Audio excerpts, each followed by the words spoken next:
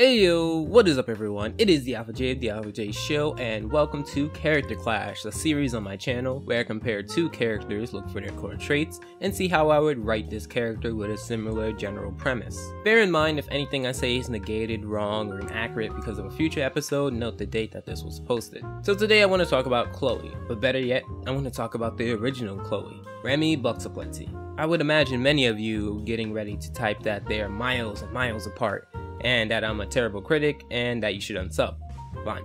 But I'm gonna explain anyway. In the Big Fairy Share Scare, the perception of Chloe was that everything went well for her in her life, at least for the most part. For example, she found a teacher conference day, she spoke with the president, she has a petting zoo, she speaks many languages, and most importantly, she was granted fairy godparents. And if we count meta things, she gets airtime with the main character of the show. For those of you who keep track of the show, let's go back to the episode titled Fairy Fairy Quite Contrary, the first appearance of Remy Buxaplenty in this series. Now, how did that go? Well, Remy had a plane, he brought out a theater, he beat Timmy at an arcade game, and saved the Crimson Chin the latter two being things that Timmy is usually interested in. Some would argue that he's actually pretty good in. He is rich and he can buy whatever he wants. If you look at the other episode, Operation Fun, which is an episode where Remy Buxaplenty and Timmy Turner are in the same boot camp, because of Remy's wealth, he doesn't get the same treatment as Timmy. The difference between Chloe and Remy are probably, in my opinion, the critical errors that Chloe has, that Remy does not. First of all, it was made very clear in the first episode he was in that he is miserable. In fact, his parents parents don't pay attention to him, to the point where some may believe he masks or bottles his pain with his money. I mean, at that age, you want some attention,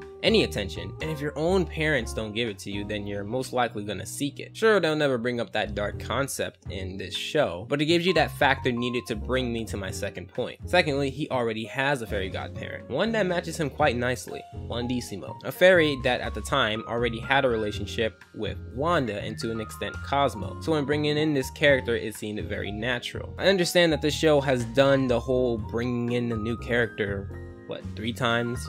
Four times or so. But the point is, the integration was a natural process. We also got to see the character's personality through their actions. In the Big Fairy Share Scare, Jorgen, Crocker, and Timmy's parents tell us how great Chloe is, instead of letting us see it through her actions. This makes it seem like the writers want us to give the impression that we should like Chloe. And if we don't like Chloe, then too bad because she's perfect and you should like her. And this never works. There's a difference between the roles of Remy and Chloe. Yes, one is supposed to be liked and the other hated. Another glaring difference is based off of what I've watched, Chloe's parents have not been mentioned. Confirmed at the time of recording this and writing this, when it comes to fairy godparents, to my knowledge, the only kids that we get to see with fairies on a permanent basis is Timmy and Remy. Yes, Chester and Tootie both had fairies, but it wasn't for a permanent time, to our knowledge. Both of them get fairies from being miserable and ignored by their parents, and it does feed into their not so good personalities. They aren't 100% the same, but they both have traits that can be attributed to not having the best childhood. So in a way,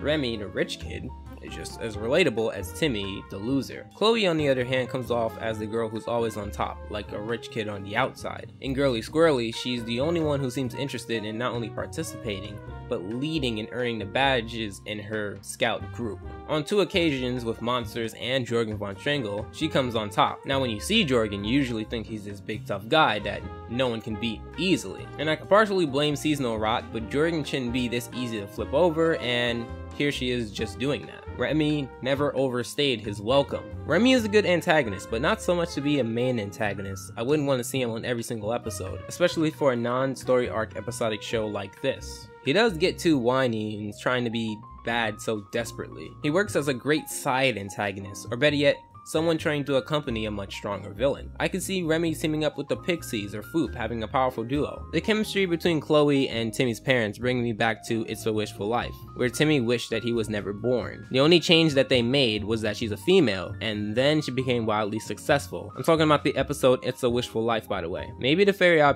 crew are responding to that criticism now that I think about it. I can't necessarily say that the girl in It's a Wishful Life would be the same as Chloe, because the girl in It's a Wishful Life was was rich and was a songwriter, upon many other things. But that only came about because Timmy was never born. But here Timmy is born, and we get somewhat of the same character, and somewhat of the same chemistry with Timmy's parents. So to close, they are different in the following ways. Their initial perception, the reason they get their fairy godparents, their relationships around them, their inner and outer shells, their justified perfection, and their role on the show. If I were to write a character who has this plethora of great traits, I would give this character a few bad traits that balance the character a bit. If you wanted to write a character like this, my advice to you, have their outside character be perceived as near perfect, but their inner character be somewhat of a mess or broken. It gives the audience the validation that we can see his character and think, hey, that person is just like me, because none of us is perfect. Sure, we may see people in real life and think they are, but everyone has an internal war, from the richest of kids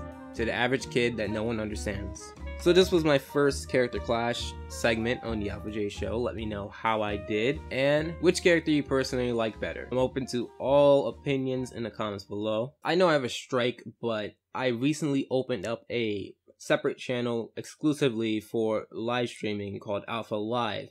Now, there's many ways to find it other than the description below. I also have it on the side of my channel banner and as an annotation on the screen. That's three ways to find it. I highly encourage you to be there. I respond to questions. I try to make it fun. I try to make it entertaining and who knows? You never know who you will see on there. That's Alpha Live in the description as an annotation on the screen and at my channel homepage right on the banner, official live stream exactly where will be shown on the screen. And as always, I hope your time is well spent, and Alpha out.